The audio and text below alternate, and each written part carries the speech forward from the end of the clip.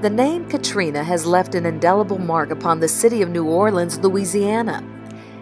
If ever the importance of sound levees was taken for granted, Hurricane Katrina made sure that changed.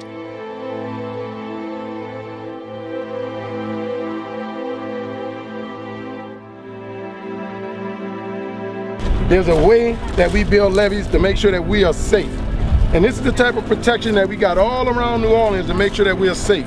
Some of the levees that failed during Hurricane Katrina, they were not armored and the water came and eroded the levee and the levee eventually collapsed, then the water flowed into our city. So that should never happen again, right? Right. So we're gonna, we're gonna build them better.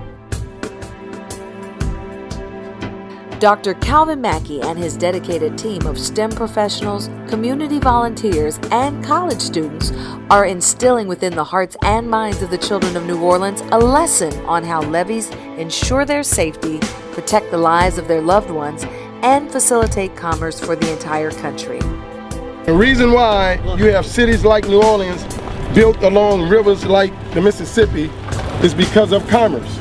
New Orleans is here for a reason. And it's because we supply the rest of the nation, not only with oil and gas, but we supply the nation with 50% of the coffee come through our ports, something like 60% of bananas now come through our ports, the tennis shoes you wear, 60% come through the port, rubber, everything. So if New Orleans wasn't here, the United States of America would have a serious issue.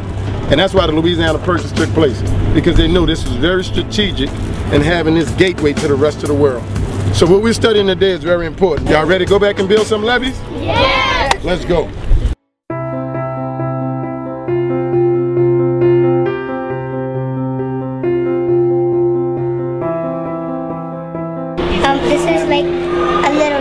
That we made. Um, the chocolate pudding is supposed to be the soil. Um, these are supposed to be the wax. That's supposed to be the ground. And that's supposed to be the glass. Loca, estoy sudando, yo me cogí todo el trabajo fuerte yo. Yeah, like we learn about working in group and we learn about levees, boulders, erosion. This is a earthen levee. This is special dirt, special clay that they brought from different places in Louisiana and other places so that we can have strong levees protecting the city. I learned that I can make a better levee than the actual government. see how high this levee is? Yeah. There's a certain formula. We just don't show up and build a levee. When we're building levees, for every one foot that we go up, we got to go two feet out each side. You got it? Look at the sky. The water's about to come. What's that? What? He said it's going to be hurricane force winds in like five minutes. Somebody find me a broom. Mírala allí, mírala allí. La tijera. Oigo, sí.